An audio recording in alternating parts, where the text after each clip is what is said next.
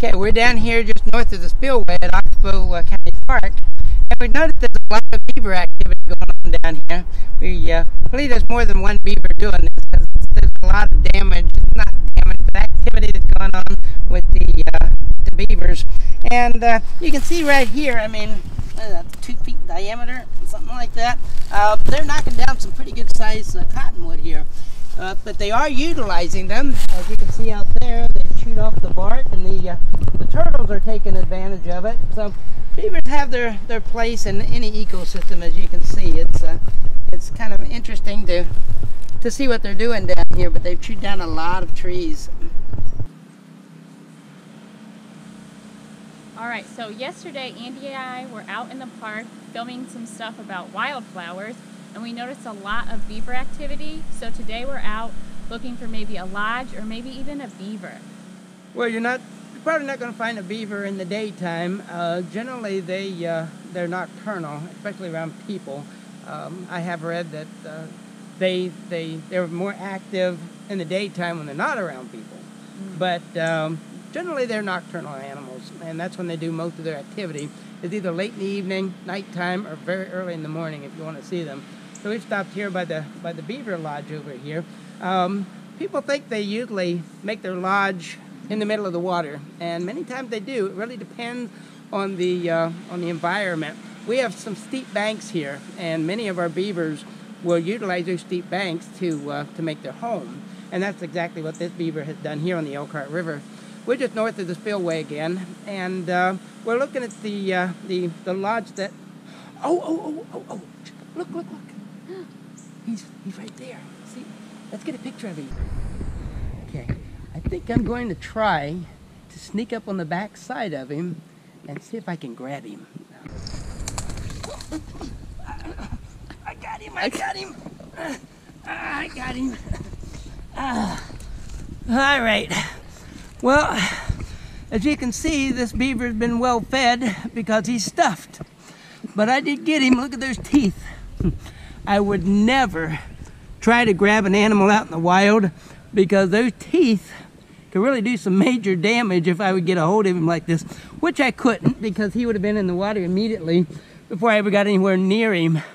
But this is our stuffed beaver we use for programs. And as you can see, he's uh, he's about, uh, they grow at about 60 pounds, so they can be, get uh, to be big beaver. This one's a smaller one. And uh, they got the tail that it's used for just about anything.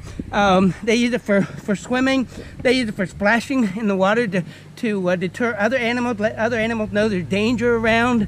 They use it for, uh, in, the, in the fall, this thing will get real fat. They use it for, for utilizing food. Um, they also use it for, for bracing themselves on the on trees. They use it for, for temperature regulation of their body. So they use that for a lot of things. And look at that fur. He's got two layers of fur. This thick outer fur here with thick inner fur, and then the uh, the guard hairs here, which actually will shed water. So he is really made for his environment. He's got these small ears, small eyes. He's got um, a nose that he can plug up so that uh, water don't go in there. He's got little goggles, kind of nature's goggles, that go over his eyes when he's swimming underwater. And um, he can actually take these teeth, bite on a, on a, uh, on a limb and underneath water. And actually he's got a, a, um, a tissue in there that, uh, that closes up so it doesn't let water into his, into his, uh, into his throat while he's, uh, while he's carrying something. So he's actually made for his environment. Let's take a look at his environment here for a little bit. Uh, he's heavy. So this is his lodge right here. And people ask, why isn't the lodge out in the middle of the river? This is, uh, this is a pretty high bank here, and as I was saying before, this, uh, this bank is utilized by the beaver because the, uh, the, they're kind of like muskrats, actually. And they would dig a hole into the bank, and they would dig an air hole up through there, and then they cover all that with, uh, with sticks and things like that. So they got an air hole in the wintertime, and they don't suffocate uh, underneath the ground. So this is the lodge, and you can see down here, this is where they're going to go into the water. So they go, they go in the water, underneath the water there. They've got a, uh, a hole underneath the water into the bank all the way up into here. So this has all been built up. This is all part of his lodge right here. So this is a uh, this is the North American beaver. They are our largest rodent in uh, in North America. They're uh, like I said, they get about 60 pounds, and uh, they there've been a lot of beaver activity along the river right here. So we uh, we just kind of ran into his uh, his lodge. You didn't know it was here before. We just kind of ran into it.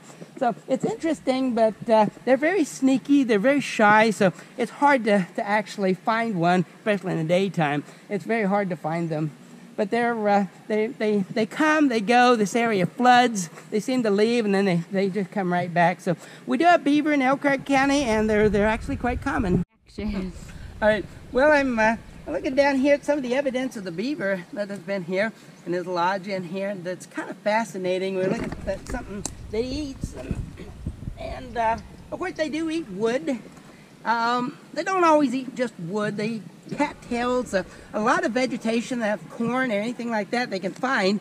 Um, wood does make up a large part of their diet, and as you can see, this thing is not eaten completely. They don't eat the whole thing. This is the dead wood or the heartwood of the uh, of the tree. So basically, what they're eating is the live part of the tree. The live part of the tree is that area right underneath the bark, and uh, we call it the cambium layer. Now you can see that uh, they do eat the uh, the limbs because the limbs have a lot of uh, these small limbs have a lot of nutrition to them. They eat the whole thing, but uh, this is dead wood, and they don't eat the dead wood. They, uh, as you can see, he's been chewing on this quite a bit. These larger uh, sticks that he, he's got. Now he may use that to, to dam up an area if it's uh, if he's in a in a wetland or something like that. Um, beavers are very uh, very resourceful, and they're one of the few animals that are actually able to change their environment. And um, generally, when they change their environment, they change it for the better because it uh, it's advantageous to a lot of animals in the area. So uh, beavers are, are very very beneficial to to uh, any ecosystem. Now we just we're just looking at this one right here at all the all the chew marks that he that he's made, and I've read that these teeth can grow two to three feet in one year. Now whether that's true or not, I don't know. That's what I was reading, and um, so they got to do a lot of chewing. Now a beaver's teeth is uh, it's it's very very sharp, and they, they the more they chew, the sharper they get, because the um, the the enamel stays real hard, but the dentine layer wears away, so it chisels out like a uh, like a like a sharp sharp chisel. And um, if you notice, the teeth are red. A lot of rodents have that red uh, teeth. That's an iron oxide that actually makes their enamel stronger.